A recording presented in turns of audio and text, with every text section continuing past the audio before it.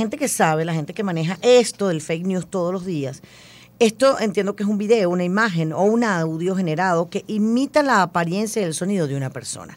Esto es lo más novedoso en lo que tiene que ver con los fake news. León, descríbenos un poquito más lo que es el deep fake. Bienvenido. Bueno, gracias. Eh, la expresión viene del deep learning, que es una, un uso de inteligencia artificial que utiliza machine learning, que no son más que algoritmos de inteligencia artificial que generan y descartan continuidades a través de patrones de videos y volúmenes y volúmenes de, expresiones faciales de personas.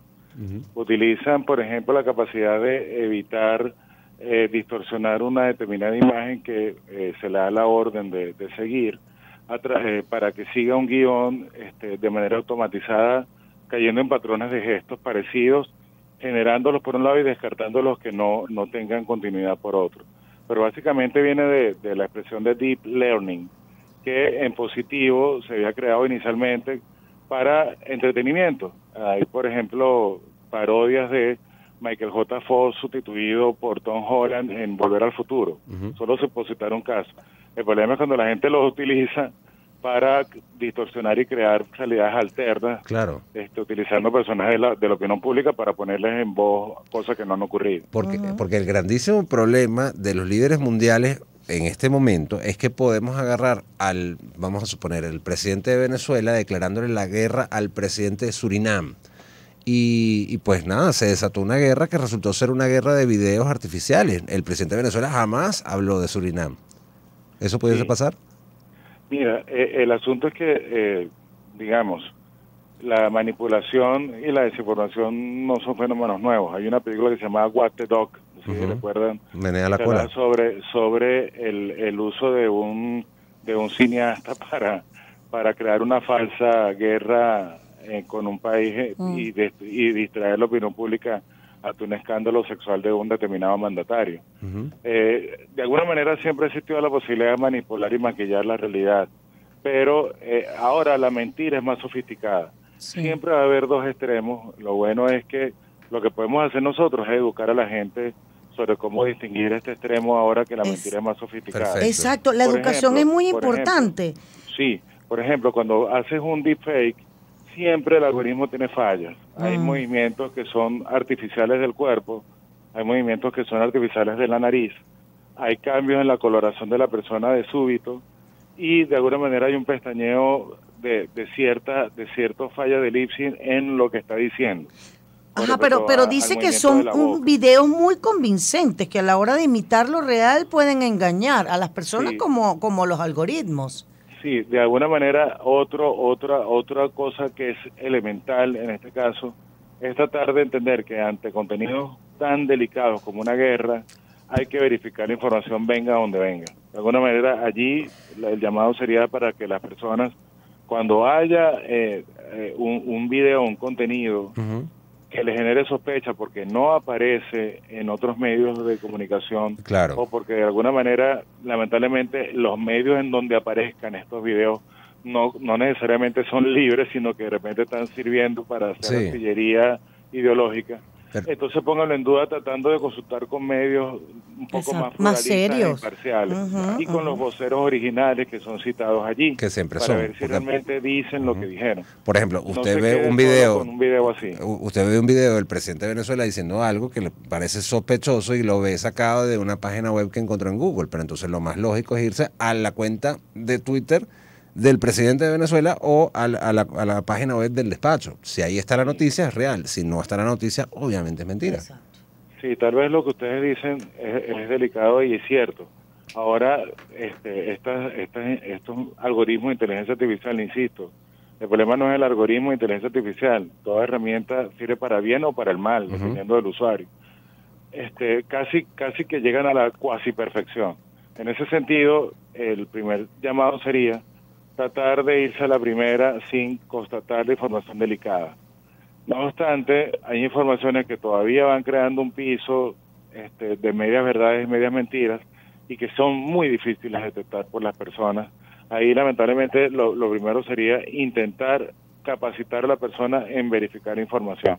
Creo que habría que sacar una, una nueva una nueva característica antropológica, el, humano comunicacionante o, el humano anti-fake, es el que tenemos que ahora sacar porque eh, el mecanismo de mentira es tan sofisticado que de verdad engaña con facilidad a quienes no disponen de conocimiento sobre estas Pero es que, León, a tal punto que los relacionistas públicos ahora tienen un, nuevo trabajo, que es desmentir comunicados y mensajes artificiales.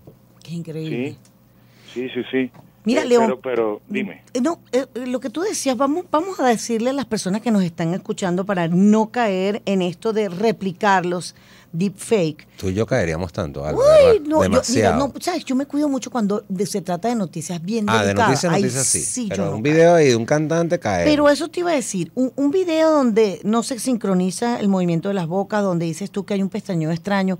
O sea, eso es fácil de detectar. ¿Y qué otras cosas más recomienda León Hernández eh, como fundador del Observatorio Venezolano de Fake News de estar pendiente para no replicar este tipo de, información que obviamente pues no es correcta?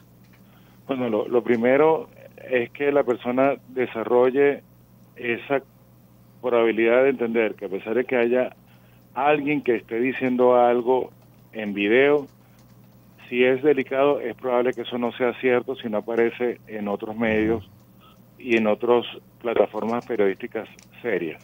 Que llamamos serio? Que por lo menos cite fuentes y que por lo menos tenga pluralidad de voces en, las noticias.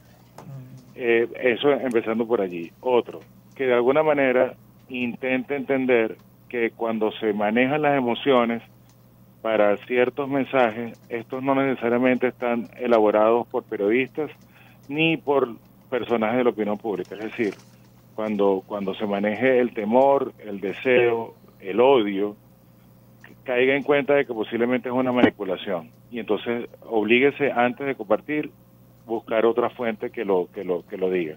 No tiene acceso a otra fuente porque lamentablemente no tiene acceso a internet como pasa en buena parte de Venezuela. Intente por lo menos contactar a quien tenga acceso a otro sistema de información para validar ese contenido. No se quede con aquello que le genera duda, porque si se queda va a irlo dando por cierto. Y va a ir presuponiendo, sí, murió Lula, sí, este, hay, hay una guerra mundial, ahora, ahora tenemos una guerra mundial, se convirtió en guerra mundial lo de Ucrania con Rusia, por ejemplo, y se va quedando con esa posverdad y va empezando a creer que esto, que esto es válido. Y por último, hable con sus familiares, con sus niños, sobre las redes sociales y los usos buenos y los usos no tan buenos que le dan. Recordemos que, por ejemplo, TikTok este, WhatsApp son, son sistemas que de repente no tienen tanto filtro como otros. Uno porque es una mensajería directa encriptada y es válido porque es bueno comunicarse, pero de alguna manera también sirve para difundir información falseada. Y otro porque no tienen los mismos filtros ni las mismas políticas de privacidad de otros de otros de otras plataformas que sí tienen ciertos algoritmos y dejan pasar retos y cosas desagradables para los niños. Entonces hablemos de esto de manera real formémonos desde pequeños para que de alguna manera estemos capacitados para distinguir ese tipo y ese mundo en esta en este mundo actual, porque es en el mundo, no solo en Venezuela. No, sí, pasa en todas partes. No solamente con tus hijos, con tu papá y tu mamá. a, mí, a mí, yo con mi papá todo el día, yo en la, relacionista pública tengo que ser yo. Eso es mentira, eso no es fácil. Bueno, no sé si les ha pasado, pero les pregunto y disculpen la contrapregunta. A ver. ¿No les ha pasado que hablan con un amigo, un primo y les dicen, no, que ahora la, el día dura más, que la Tierra está más grande, que estamos más cerca de la Luna? Que hay un fenómeno nuevo en el planeta, que se está, se está moviendo el magma interno y está derritiendo. El, el, centro se movió, porque el centro está rotando para el lado que no es. Eso fue lo que dijeron. Ese tipo, y lo dan por cierto. Cierto. Eso es delicado, porque ya va creyendo la persona una cosa que lo que hace es distraerlo, de la realidad. Ah, no, terrible. León, gracias, gracias por atendernos y por esta explicación tan maravillosa. Siempre ustedes atentos a a esta sección que tenemos todas las semanas. Muchas gracias, León. Gracias a ustedes. Gracias, León. Hernández, periodista, coordinador, fundador del Observatorio Venezolano de Fake News. 1 y